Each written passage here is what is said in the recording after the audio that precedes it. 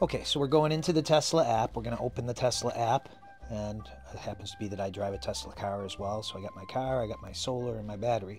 So you got the energy impact or virtual power plant, which I just applied for because I found out that it is worth doing. You get $2 a kilowatt hour with that.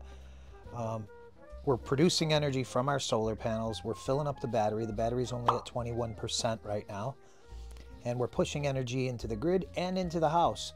So we're pulling energy from our solar. Everything's the power of the sun right now. And this is pretty cool because this is real time.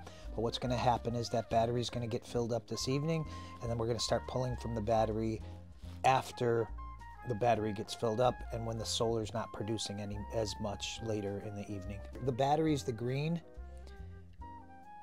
so that's actually pushing energy into. We were pushing energy into the battery since somewhere around eight o'clock this morning.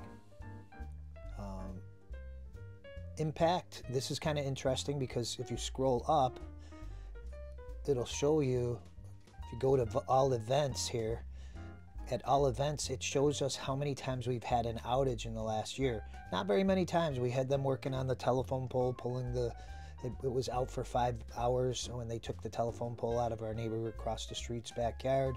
We had a two hour outage back in December, and then it was almost a full year before that when we had a seven hour outage.